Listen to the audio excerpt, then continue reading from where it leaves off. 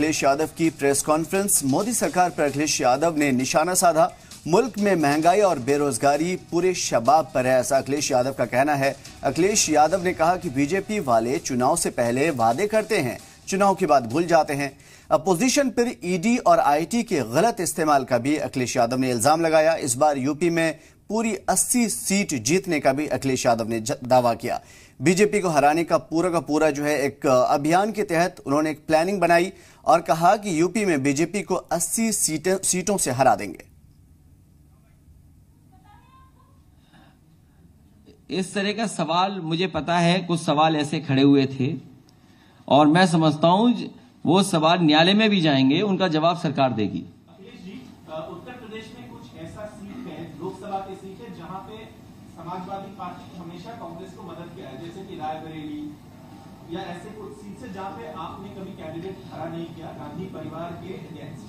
क्या 2024 में आपका यही रवैया रहेगा या इसमें कोई मदद आएगी? क्योंकि आप कह रहे हैं कि non Congress non BJP front so are you going to give the Congress a walkover in these seats, or are you going to put up candidates in these seats also? I'm talking specifically about Raebareli Amethi second one is Amethi मैं अपने पत्रकार साथी को धन्यवाद दूँगा। अभी मैं अमेठी होकर के आया था।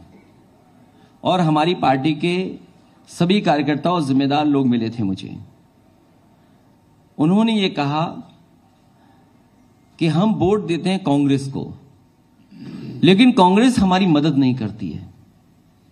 अभी हाल ही में हुआ डबल मर्डर हुए। उससे पहले ट्रिपल मर्डर हुआ।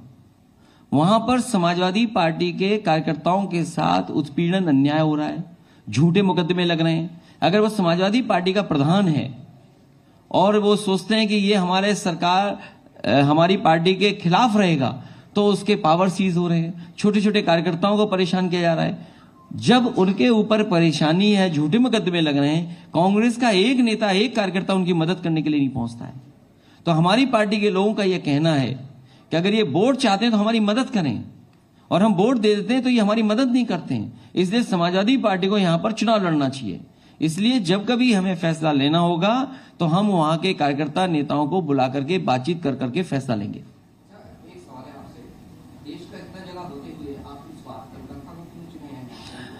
मैं दादा को धन्यवाद देता हूँ कि दादा ने यह कहा कि यह बहुत शुभ जगह है।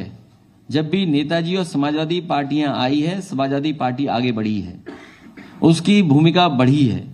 और इस बार तो नवराज शुरू होने जा रहे हैं। हालाँकि आपके यहाँ दूसरे नवराज ज़्यादा खुशी से मनाए जाते हैं, लेकिन हमारे तरफ़ तो सब नवरात्र मनाए जाते हैं। तो माँ का आशीर्वाद लेकर के हम लोग नवरात्र मनाने जा रहे हैं और हमें उम्मीद है कि इस बार परिणाम उत्तर प्रदेश में दूसरे देखोगे। और इसीलिए मैंने शुरू की थी बात।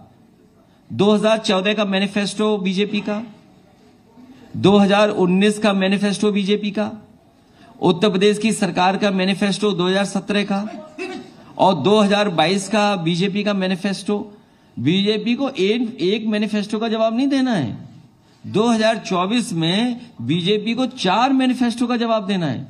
और आप तो वहाँ पर हैं जहाँ माँ गंगा को आखिरी में देखते हैं। माँ गंगा कहाँ से चली? और इन्हीं बीजेपी के लोगों ने कहा कि हम माँ गंगा को साफ़ करेंगे।